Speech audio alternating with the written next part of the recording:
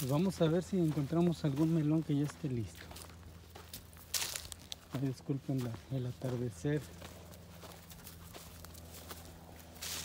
El sol nos la cara. Aquí cortamos ya un maíz.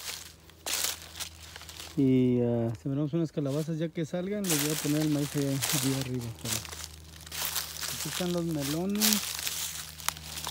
Entonces la manera que yo sé o que he leído de saber cuando están los melones es de que si lo levantas y, se- arranca facilito, ya está. Pero la otra es de que lo tienes que oler.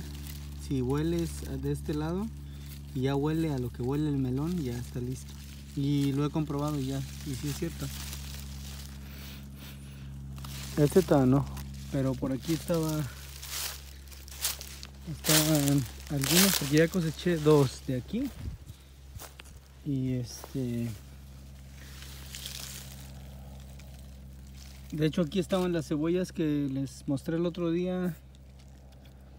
La cebolla morada que estaba guardando. Y aquí la sembré con los melones. Sé que es un. Yo digo que es una, una buena planta de acompañamiento porque. eh, eh, la cebolla se dio muy bien y los melones también se están dando muy bien. Este ya como que se ve que ya va a estar, ¿verdad? Vamos a ver. Este sí ya huele, pero bueno, vamos a ver. ¿Sí ven? Lo levanté, no lo jalé, lo levanté y se desprendió. Y también, ahí está. Sí huele, huele bastante a melón. Y también pues como pueden ver, Así es como lo ven ustedes. En la tienda los vemos eh, completamente como de este color, pero pues quizá ya tienen, no sé, un mes de cosechados. Y entonces aquí está, está fresquecito. Y ahorita tuvimos una ola de calor, así es de que pues no les, no les fue muy bien. Pero ahí están, como quiera. A los pepinos quizás nos den otra.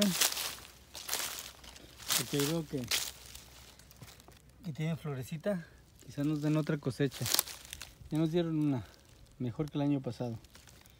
Eh, unos eh, le salió algún hongo porque estuvo muy nublado en la primavera. Y pues casi, de hecho en la primavera casi no salió el sol pero nos encontramos joyitas de repente, así como esta. Como alguno que no habíamos visto. Ahí está otro pepinito, lo dejamos crecer un poquito más. Pero vamos a ver, y ahí tiene otra florecita que ahí viene. Entonces a menos que llegue un calor muy fuerte, pues no se va, pero también este, creo que todo este le cayó este hongo. Pero de allá viene una calabaza, por ahí. Entonces, ahí está amigos, pues así es como si siembran melón, así es como pueden saber si ya está listo. ¿Sale? Bueno, aquí seguimos, aquí seguimos en el, en el micro rancho, en el atardecer.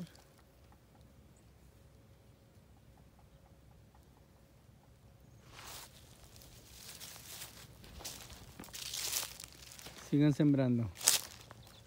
Sembrando salud, sembrando amor, sembrando vida. Hasta la próxima.